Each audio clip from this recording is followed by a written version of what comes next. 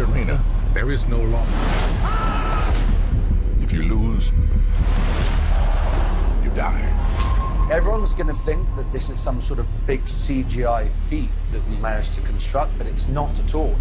Should have stayed away. You should have killed me. I will. We decided very early on that every time you see us with those horses, that's us with those horses. It's grounded and it's very real. Everything is very visceral. Come on, Messala! They've built a full track and we're actually pulling four real horses on a chariot. Are we having fun now, brother? I also very proud of how dedicated everyone was to safety and taking care of the animals.